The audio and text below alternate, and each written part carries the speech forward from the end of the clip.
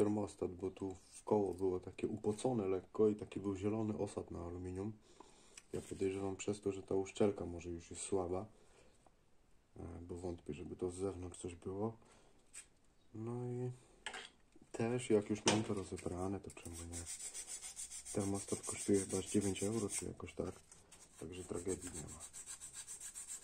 Najgorsze jest, jak coś jest na dwie śruby ściśnięte. Wtedy tu pomiędzy jest najsłabsza siła.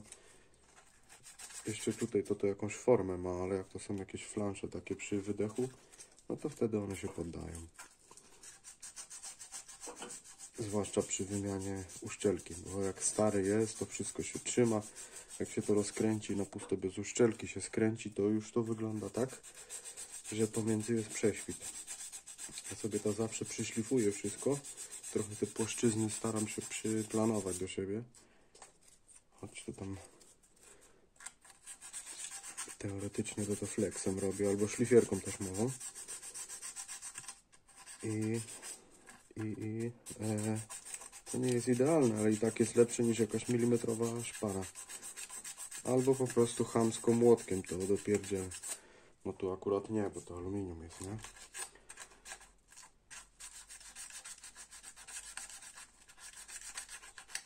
A tu w środku też trzeba to poczyścić, wszystko ładnie.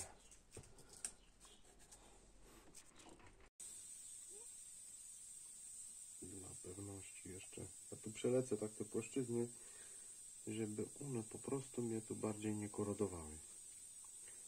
Bo od szczelności to jest nowa gumka w termostacie.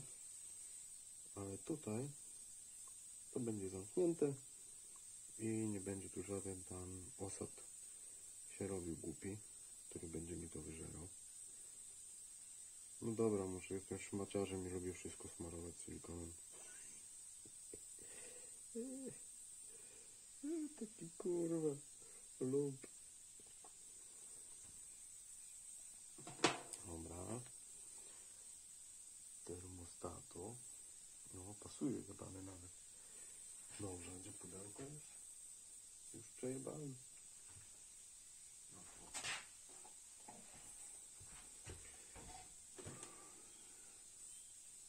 Termostat od Febi. Tu chyba do motoru jakiego jest. KL01.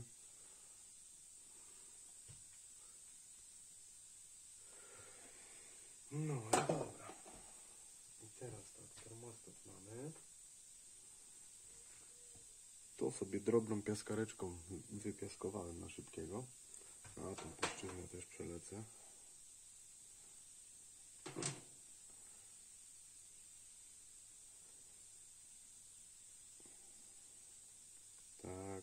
Wszystko w silikonie, żeby aż wypadały spod niego kawałki, jak mu przygazuje. To będzie wtedy dobrze.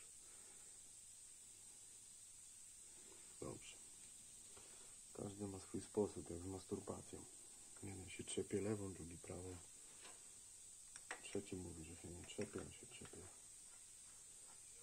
Dobra. Co to czarnego w środku jest, to zaraz powiem.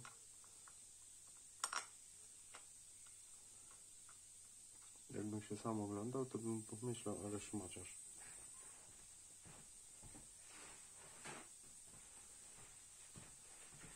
Co za patologia, wszystko zajebane w silikonach. Chuj, tam ma być szczelnie.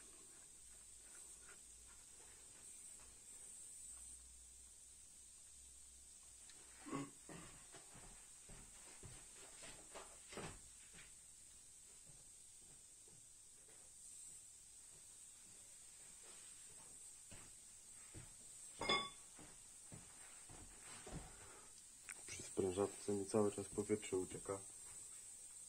Eee, Ten zawór, co wyłącza to wszystko. Mam go kupionego, ale ale e, trzeba by było go zmienić w końcu. Dobra. I teraz, jako że to jest ósemka, ósemka, aluminium, to na 22. Nie patrzałem w książkach ile to ma być. Dobra. Dobra. klucz od razu rozkręcać trzeba. Przynajmniej dobrej jakości, bo z gównianymi to i tak chuj w dupę, ale... Ja mam proksonki i takie. Nie wiem, ciężko powiedzieć. I chuj.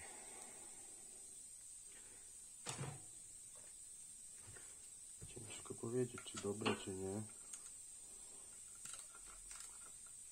Bo niczym innym tego nie mierzyłem. Ale wydaje mi się, że chyba są dobre. Okej, tego gówna zapomniałem. Jakąś kostkę. Jest tu przy tym silniku braszek takich różnych na jakieś kostki, na wtyczki, na podtrzymanie kabli wkurwiających. Okej, z powrotem damy na 22. Albo nawet 4 to sobie obydwie przekręcę.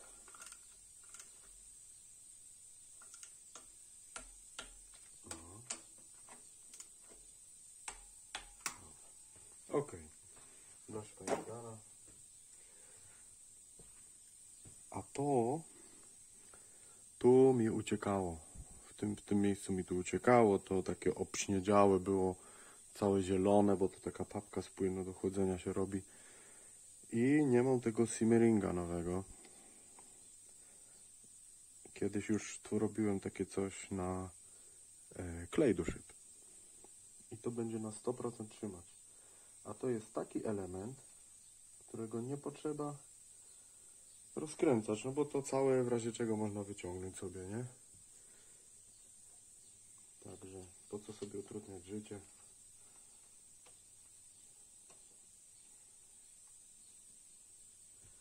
Po co sobie utrudniać życie? Tu opiaskowałem też. Muszę sobie kabinę zrobić w końcu, bo tak to już mam piasek wszędzie. Co tu mamy ustawione?